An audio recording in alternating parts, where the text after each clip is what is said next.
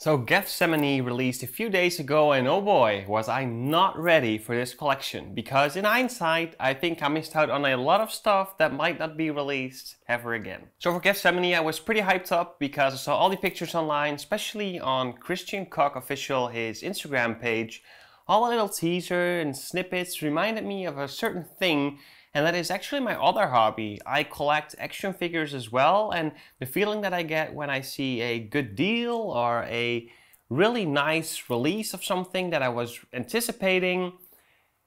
Rick Owens did a similar thing, and he released furry cargo baskets, furry Ramones. And if you see the designs, they even released like a Grinch version of Geobaskets where they all, all this, all the black basically, was green hair. I wouldn't personally wear it as fast as I would like the Arizona Birkenstocks, but on the other hand, it's really cool to have something like that. And if you look on Instagram and you look for Gethsemane, you see some Instagram pictures of people actually having them in hand and they look really, really good.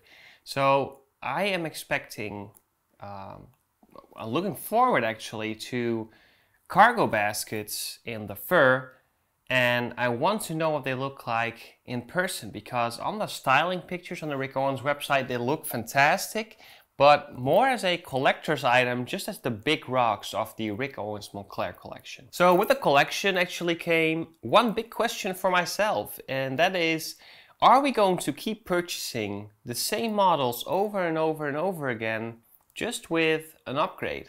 And this is what's been going on for a long time because first about Ramones, and I thought this was the ultimate shoe or sneaker, and then a abstract version releases, or a double bumper version, and a silver color 18 ounce denim version, like this one.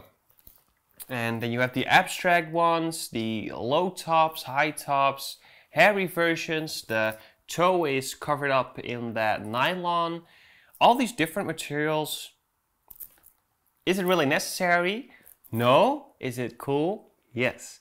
I love it. It's basically collecting at this point. I would love to have a pair of cargo baskets with the black fur on my closet, just showing it and wearing the other pairs that I have of my Rick Owens sneakers. So what I've been seeing a lot is, I think it's not everything that's uploaded right now on the uh, Rick Owens page. And on Farfetch, I think everything went pretty quick. Even the low furry Ramones, the high furry Ramones, all went. And the green Geobaskets as well. Was only one size left when I looked. Probably gone now. Cargo baskets obliterated in one single day. As usual, except for the black regular version of cargo baskets. So do you guys get this collector's feel as well with Rick Owens and the Gethsemane collection? Because right now I start to feel like these are just gold versions of regular releases uh, that you would usually buy and wear.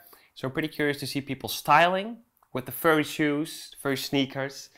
And I love the other Gethsemane stuff that's coming out. So the big blankets, which look, just looks like a two by two meters big blanket. It looks awesome. It looks like Darth Vader, Voldemort in my opinion. It's I think around 2,000 euros for one single blanket coat. It looks really cool, but practicality would never be there for me. So I will add these to my list, the cargo baskets in fur, but for collecting purposes, I think, because I don't see myself wearing them in my style, maybe sometimes for an event, but other than that, they will just end up in the closet. But with a collector's smile on my face.